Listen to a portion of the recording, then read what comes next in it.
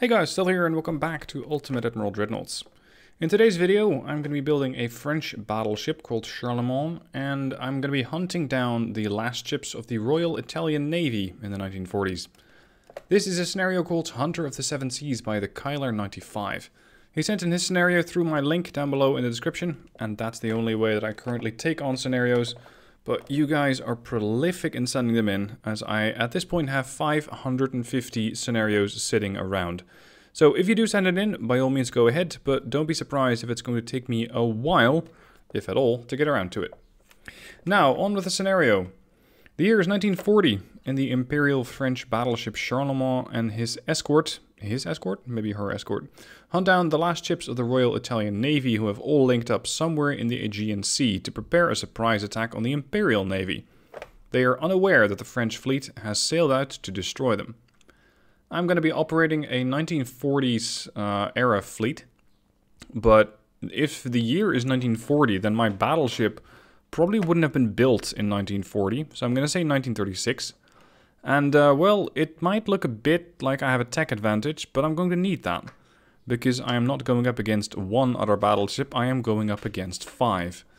The enemy will also have one battlecruiser more than I do, and they'll have 10 heavy cruisers more than I do. Uh, there were no real specific requests for the scenario, other than to make the battleship the most perfect ship possible, and don't forget to rename it Charlemagne. Um, the whole description of the most perfect battleship possible is vague. Some people might say that 18 inch guns are the most perfect battleship, other might go for aesthetics, others might go for meme builds. I'm just gonna do my own little uh, designing, and um, well, it's probably not going to be to everybody's like, but I'll try to get something out that actually resembles something that the battle that the French might have built. Now it is 1940. I'm not going to say that the French have built a super battleship yet. Um, just a modern battleship will do. I think the modernized dreadnought's a bit too old.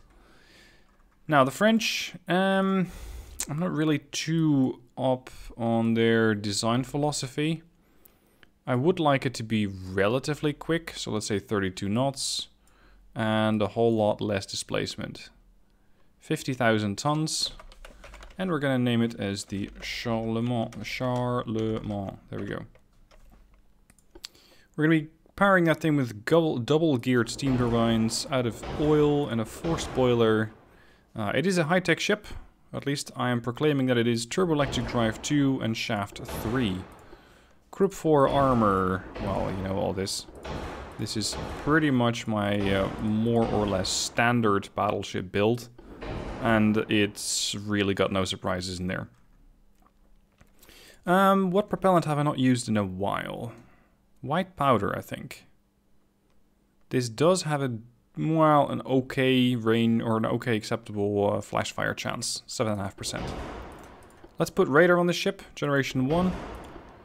Advanced radio telegraph, and we're gonna go with a stereoscopic 4 rangefinder and a sonar 1.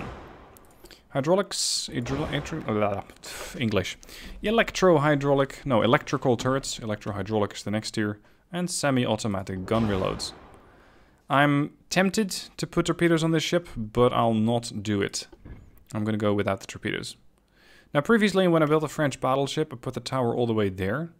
This time I'm going to go with a bit more of a standard build. I'm thinking two guns on the bow, two guns on the stern. Or rather, two turrets. The real question is going to be what tier, or rather what caliber. I have of course access to the 18 inches. Uh, they do take up a fair amount of space, and more importantly weight, and weight is something I'm... Well, I have a decent amount of it, but these things weigh 3,700 tons, so they are very heavy indeed. Um, what would the most perfect battleship be? I'd say that's something that can engage various targets, potentially at the same time. Now there are no destroyers in this scenario, which is refreshing. There are no light cruisers, there are no PT boats, so I don't really need to take on any uh, larger amount of threats. At least not in the sense that I need fast firing small caliber guns. So I can probably go with something a little different. Uh, why two funnels? Why not two funnels? I like two funnels. What sort of secondary caliber? 8 inch, 7 inch? 8 inch are great. Uh, it's all mark 4 with the exception of the 3 inch. Right. Considering going with a mixed bag of armament, because in the previous attempts that I've made, that actually served me quite well. So I'm going to go with a very unorthodox design of having a couple of uh, dual 18 inch. Maybe not. Never mind. That whole 18 inch plan just went out the door because even the doubles are just too heavy for this ship. Let's go for 15 inch triple barrel. And the ship is overweight. Fine, we'll up the displacement. Go to 55,000 tons. Yep, there we are. Four weight offset is pretty dramatic at 15%, so I'll definitely need to balance that off because I would get some severe penalties if I would have sailed the ship out of the dock using that. I still don't like how far this turret has to be in order to balance out the ship. But I don't really know how otherwise I could try and balance it. Uh, well, this... This could arguably work, but now I have an even more dramatic aft weight offset. And if I were to have this space in the middle... I really wouldn't quite know what to do with it.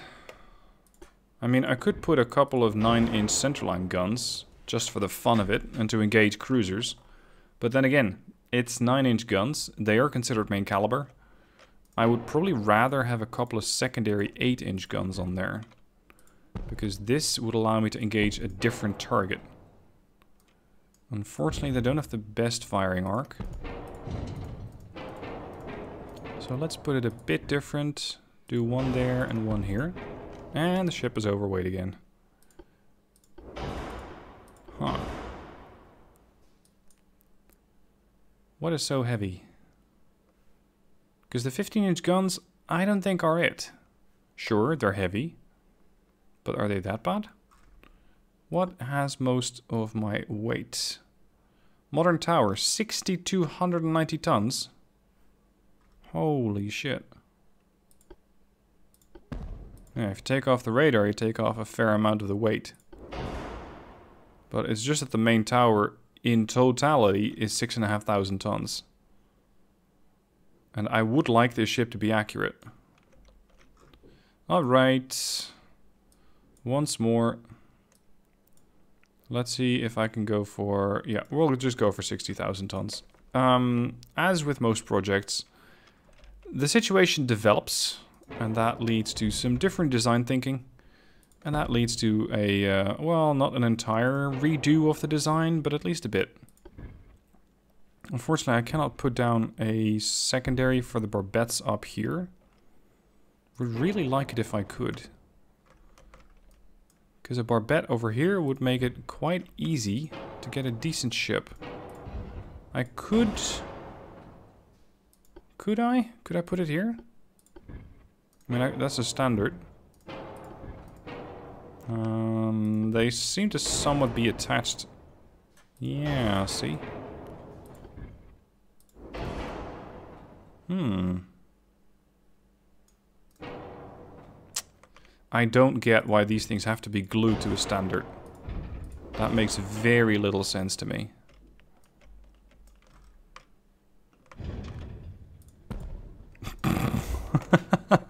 Not that that's gonna work. Uh, could I do it now? Yes. Interesting.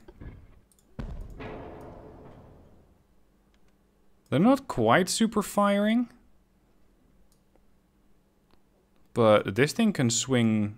No, it cannot swing a 360. Oh, ah, you'd think so.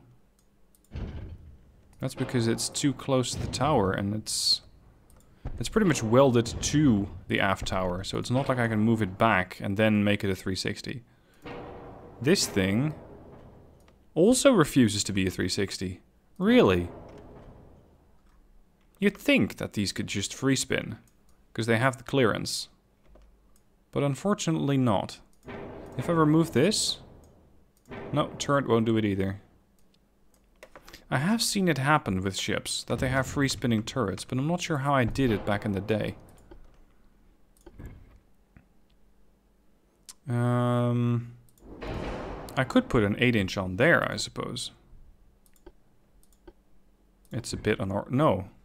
Really? I can fit a 9 inch on there, but not an 8 inch.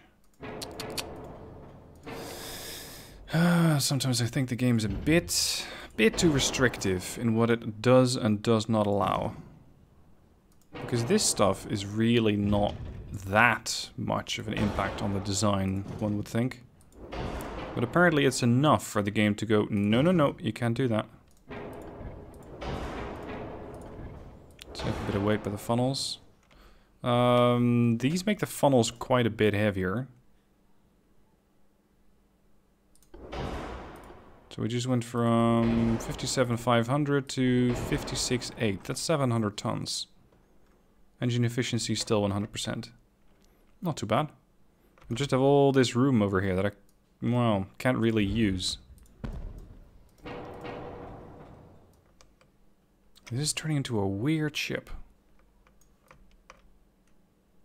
And she still has to defeat a large amount of enemy battleships. Let's just tear off some of the weight again. Or some of the displacement. Go to 55. I liked the 50 ton warship a little better. Because I think it's just really quite hard to make that work. Three and a half, four weight offset, aft one and a half. Look at how far that turret has to be. How hard does this have to be, guys? Come on. Fuck it. What would the AI design thing that is? There we go. 14 inch. Huh. Curious, they put a dual 7 inch between the 14 inch triples on the bow. That is a very interesting choice. So they put this on the barbette, and then they use that barbette for a twin 7. We got twin and triple 5s. I don't like having a mix of twins and twins and twipples. Twins and triples, because that causes different ammunition stores. So I'm going to adjust that bit, because I don't really want to see that.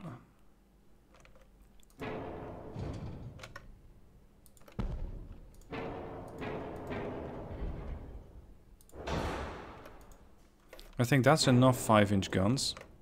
That's 15 on a broadside plus 4 inch. And then we get those 7 inch guns. Maybe I could put this on a barbette. No, not with that amount of displacement left. Whoa! I didn't touch the armor quality at all, but they decided to go for 18 and a half inch. 25 inch on the turret? Good lord. That's a lot of armor. I actually like this French battleship that the AI designed a bit better than my own. Anti-torp 3, anti-flood, aux 4, shaft 3, turbines 2, yeah. Curious. And I know I can still play with the range slider, but I'm just going to keep it as is. Sonar 2, Generation 2. I quite like this design. Let's see if I can balance it out and then take it into combat, because I've spent way too long already on the design process. I know some people really enjoy it, some people just skip it altogether. You do you, and I'll do my designing. Or, well, let the AI handle my designing.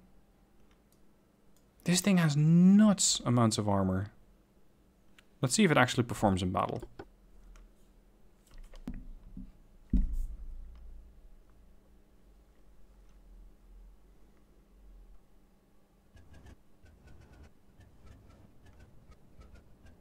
Now it's a pretty large fleet, fleet action today, as I get assistance from four battle cruisers and eight heavy cruisers. Hold.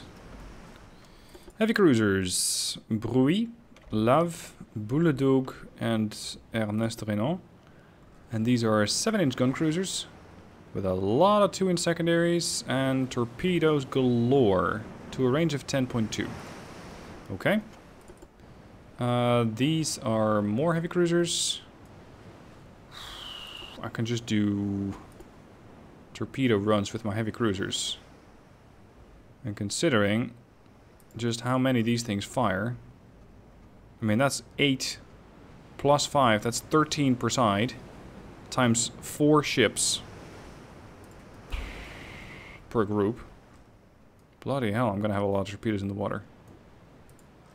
Alright, group of the Duquesne. You're gonna turn left. That's the Duquesne, the Embuscade, uh, Tourville, and Suffren. And the other heavy cruisers, you guys are just gonna steam ahead. Because I think you're going to intersect with that formation. Yeah, they're coming with this way. Uh, what's your torpedo range graphically? There. Alright, hold. My plan is to have these heavy cruisers move ahead of the formation. And by doing so, I'll be able to cross torp. So I'm going to send some torpedoes into this column and send some torpedoes into that column. And the same is going to be done by the other heavy cruisers, the, the group from the, uh, from the Duquesne. And we're going to get a beautiful cross torp. That's the plan anyway. There is a very important condition for this particular battle, and that is that I cannot lose any ship. And I must destroy every ship. So, can't lose any, and gotta blow up everything. The battle cruisers Couronne and uh, Saint-Thomas d'Aquin, uh, Madeleine de Brest and Richelieu are assisting. 16-inch guns, which they can fire accurately thanks to the stereoscopic 5 rangefinder and generation 2 radar. No torpedoes, but then again, at this point, you don't really need them. Um, gun orientation to port, or sorry, to bow to stern. Very good. Let's just cross the T with those guys. So head that way. Charlemont, I'm going to have slow down a bit. Because if I can just maintain position, then these guys will come ahead of me anyway. And I can let the 14-inch guns from the Charlemont do some work. Heavy cruisers are immediately opening up.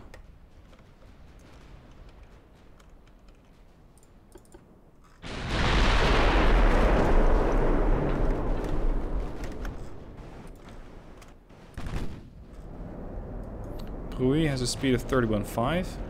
See, I think that the condition that says you cannot lose a single ship is a bit too strict. It is really difficult to make sure that I don't lose a single ship, considering how many I have.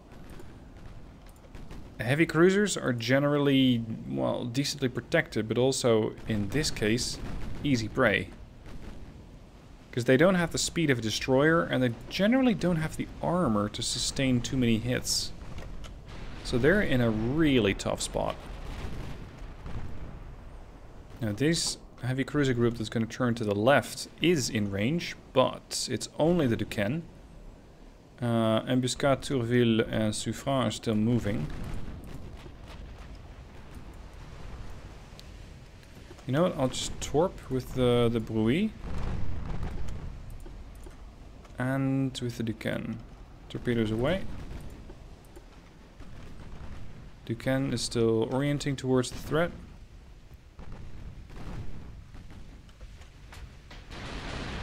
As I had hoped, the Love hasn't fired yet. Come on, Duquesne. Good time is right now.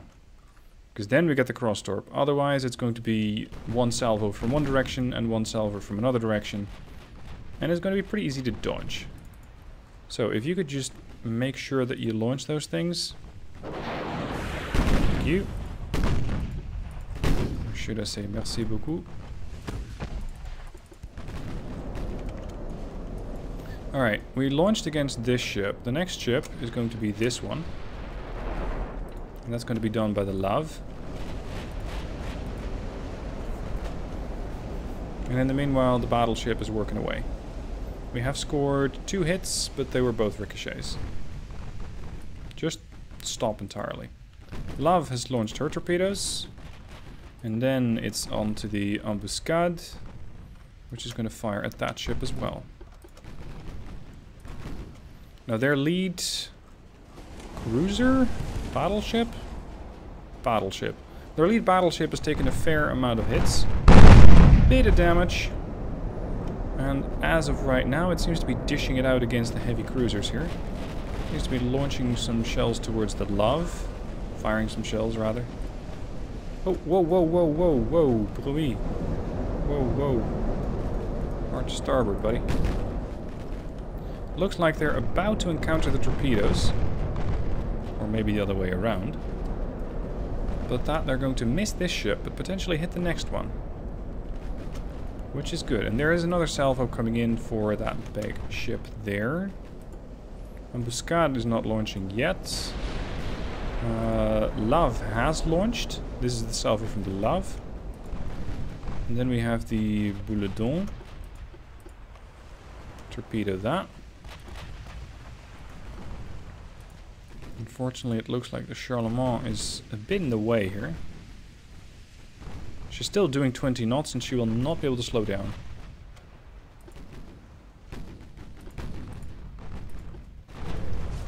Whoa, that's one cruiser, potentially cruiser less.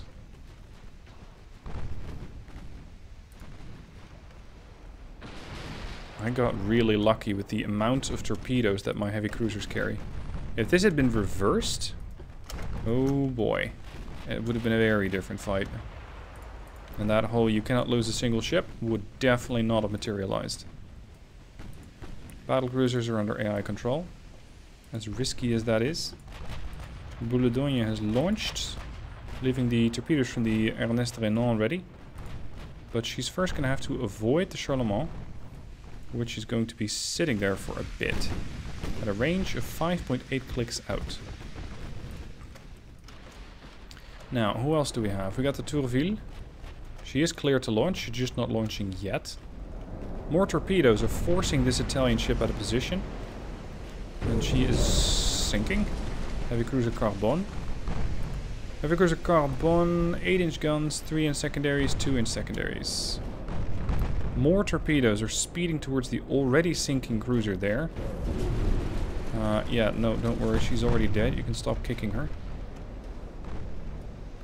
And there is another group of torpedoes which might impact the ships over here. But I think we're approaching the edge of operational range for the torpedoes. Uh, yeah, you took structural damage, so that was torpedoes.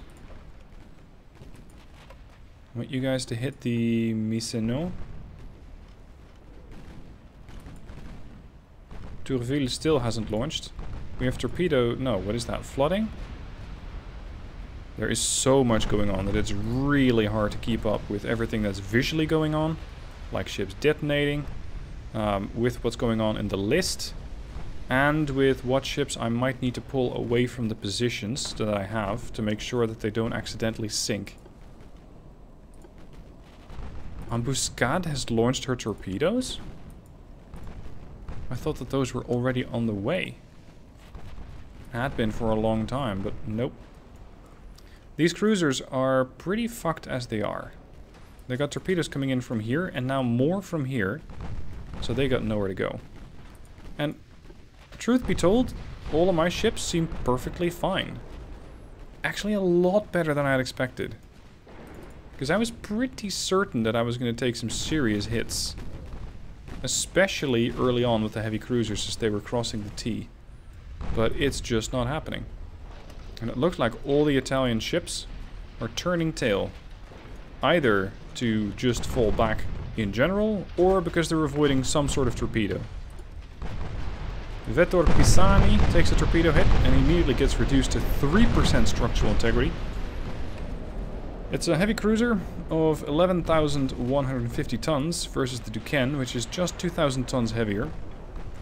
But it didn't take long for the uh, Vettor Pisani to sink. And it looks like the other heavy cruisers are going to come off pretty well. The battle cruisers are still chipping away at whatever else happens to be floating around here. Um, the numbers of the Italians are dwindling exceptionally quickly.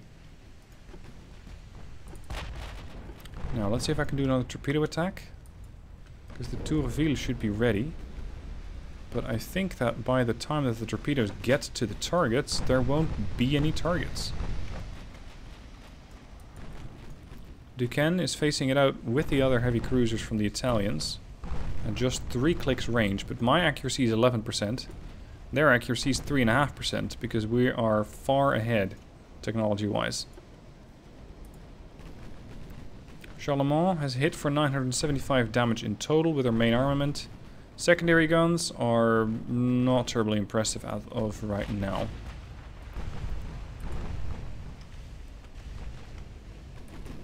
I want these heavy cruisers to once again fall in and just completely cut off the formation. Well, maybe formation's the wrong word at this point. Because there, there really isn't any formation. It's just a ragtag band of Italians which are falling back.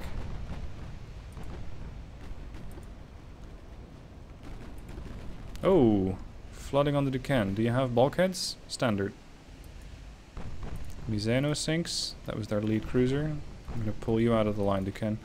Embuscade, you can keep going. Suffren is clear to launch, but she doesn't have the launching angle yet. These guys haven't invented the use of torpedoes. Fortunately. Now, it looks like the battle cruisers have been doing some serious damage towards these guys. But then again, also getting hit by two torpedoes is not very helpful for the the health of your ship. So the uh, Gloria Veneta might be the next volunteer. Well, maybe not so much volunteer then. Might be the next target to sink.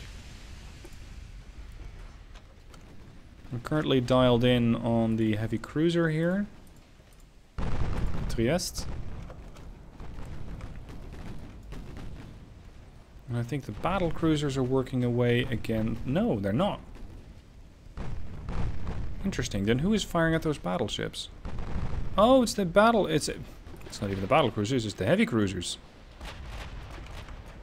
That's not quite what I was expecting. Sorry, you can stay on autopilot. Trieste sinks. I knew I had a tech advantage, but I wasn't quite expecting it to be this big. I thought that due to having more battleships, the Italians could keep up. Well, not quite. Torpedoes away from Tourville and from Suffren. Both against, I think, the Ruggieri. Uh, sorry, Ruggiero. Um, but I'm not sure what exactly I told them to torpedo at this point. Charlemont, still trying to slow down. Let's just pick off that last bit of health from the battleship there. I have done 44,000 damage versus 1,300 from the Italians. Bloody hell. Not a chance. Looks like these torpedoes don't do much, and these similarly won't be very effective. There goes the Forza. And the Aquila d'Oro. What got you? Ammo detonation. The whole ship's on fire. That would do it. 44% chance to hit another battleship. That's the uh, Gloria. Currently getting worked over by the 14-inch guns from the Charlemont. Another battleship sinks. Another heavy cruiser's in severe trouble. Oh, oh, oh, oh. This is not good. What's going on here? You're getting hit by 13-inch guns. I need you to fall out of the formation. Because I can still lose this scenario. All that needs to happen is for one of the French ships to die. One French warship sinks and I'm gone. Heavy cruisers, Embuscade Tourville, Suffren engage the Italian Paluniro, sorry, Palinuro. Fernando 2 sinks. Gloria Veneta sinks, structural damage.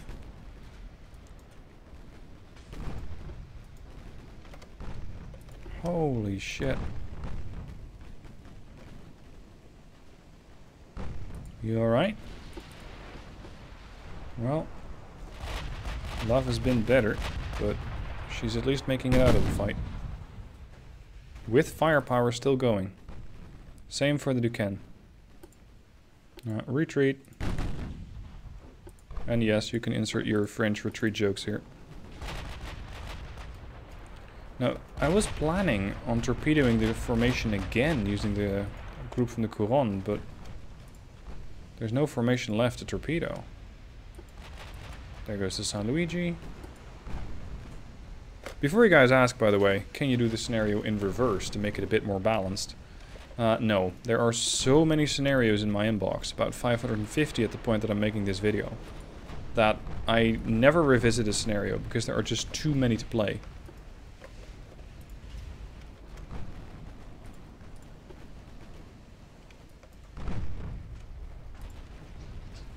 I have done 56,000 damage and they've done 2,000. That is some efficient warfare going on right there. They still have one battleship. And a battle cruiser or two. Although that number is quickly going to change. Two, three heavy cruisers. That is all.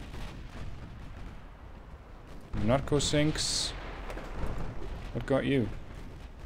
Battle cruiser, 16 inch guns. Yeah, that would do it to you. Trento. Trento is relatively stable, hasn't taken any flooding. It seems to be burning up fairly, uh, fairly badly. Minimum bulkheads. And that's going to put her down. Either the fire or the flooding. But I think it might be the flooding. Done. Now, what are they firing to... What are they using to fire back at me? 8-inch guns. So they actually have heavier guns than I do. Bigger guns. But... I'm not sure if they're actually employing those properly, or if they're even able to land hits with them. I'm gonna change formation or fall back with this cruiser group. Because I'm thinking that we might not have too much chance for the Embuscade to survive if she gets hit. That was pretty close. This should kill the battleship. And Tourville only had one launch, or what is it, two launchers? Two launchers ready, that's eight torpedoes. That should be more than enough to put the uh, uh, Ruggiero down. And then it's down to the uh, Sibilia and Palinuro without taking a... Well, not entirely without taking a scratch on the French, but... Let's be honest. These Italian ships, they did not really stand a chance. Torpedo should be impacting the battleship right about now. This heavy cruiser seems to have wisened up though. All ships engage the Ruggiero Oh my god, it's gonna be murder. Yep. All sorts of parts are flying around. The Aquila Volante. And she just got hit by seven torpedoes, I imagine. One, two, three, four, five, six, seven. And she detonated her own ammunition. Or, well, the torpedo did that. Ruggiero is falling back. The torpedoes here don't look good. I don't imagine we're going to be landing any hits here. Chance to pen? 44%. 7 inch guns. I have a belt armor of 5.4, but with an 118% uh, armor boost quality, so that's about, let's say, 11 inch. They can penetrate at a range of 2.5 kilometers. 14.8. So yes, they will do damage, and they'll probably do critical damage if they hit me. But whereas they're firing with 4%, I'm firing with 11. So my accuracy is so much higher that I'm just landing a lot more shells on the target. Looks like the battle cruisers are starting to slug down the Sibilia now. Oh, sorry, the uh. And Charlemagne is also weathering her down. 14 inch shell fire. 7 inch shell fire for good measure, 5 inch and 4 inch. Everything is firing at the uh, Italian battle cruiser there.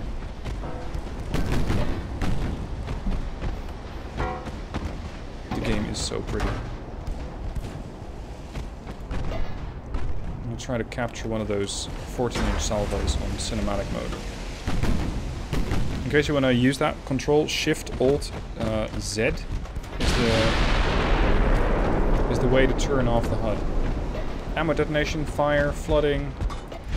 Looks like all the shells impacted at or near the region of the bow. The Sibylla has few bulkheads, which is going to be pretty much certain death for her. Now, the uh, Aquila is sinking, the Sibylla is sinking uh, right about now, leaving the Ruggiero to potentially have torpedo problems. She does have torpedo problems. And the Palinuro, well, she's pretty much gone too. Halfway through. Whoa, that was the flooding on the Ruggiero. And that means that the poor Palinuro is surrounded by French heavy cruisers there, French heavy cruisers and battle cruisers there and a French battleship over here. So she really only has one way to escape, and if she, if she tries that, she's going to get torpedoed. So, uh, a total victory to the French. The one thing that I thought was going to be tricky about this scenario was that I was going to be faced with um, AI-designed ships of my own fleet, that is. And, well, Sometimes you get AI ships which are very good, like this time. Sometimes you get AI ships which are just dreadful. Minimum bulkheads, no maneuverability, poor range finding. You just can't hit anything with those. But these, these were great. So thank you for watching. And uh, thank you for uh, sending in the scenario, the Kyler 95. If you have one of your own, be sure to send that in. And if you like my videos, if you like the channel, then by all means consider becoming a Patreon supporter. Link down below in the description. Thank you guys for watching, I hope you enjoyed it, and I'll catch you soon for another video.